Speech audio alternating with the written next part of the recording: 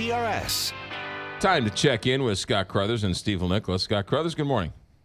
Hi, good morning, McGraw. All right, yesterday we were um, up again, weren't we? Another good day yesterday. The Dow was up 39 points, closed at 22,158. Uh, technology sold off, but energy was strong in light of a, a light day of trading. Uh, Centene jumped 8% and closed above 98, a new record high after the big buy in New York. The, the yield on the 10-year U.S. Treasury rose to 2.19%. So There you go. all in all, good day. All right, let's get some uh, news, and let's start with Bain Capital. What are we hearing from them?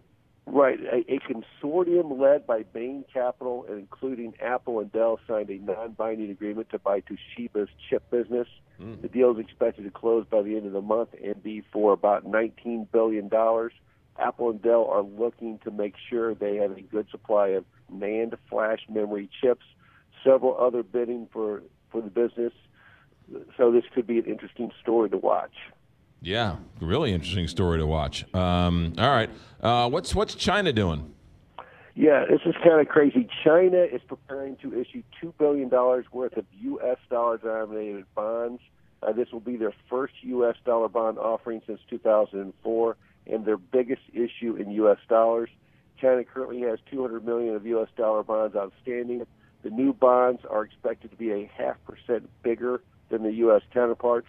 So, for instance, if our 10 year uh, U.S. Treasury is paying 2.2 percent, their 10 year will pay about 2.7. So you'll gain about a half percent by buying the China government bonds. So, if you buy China government bonds, you can buy them in U.S. dollars. Is that what's? That's that's what they're issuing some bonds right now in U.S. dollars. Yes. Hmm, that's interesting.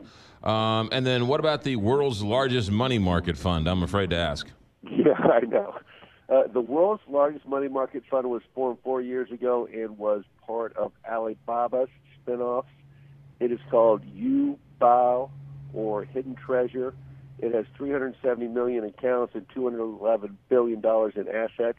That is twice as big as its closest competitor. It also accounts for one quarter of all China's money market funds. It is almost entirely mobile, and co- consumers seem to love the fund. So All right. And then uh, today, what are they thinking on Wall Street? uh, today, the Dow looks flat. We get a look at Consumer Price Index or CPI. Uh, this is for August and is before the hurricanes.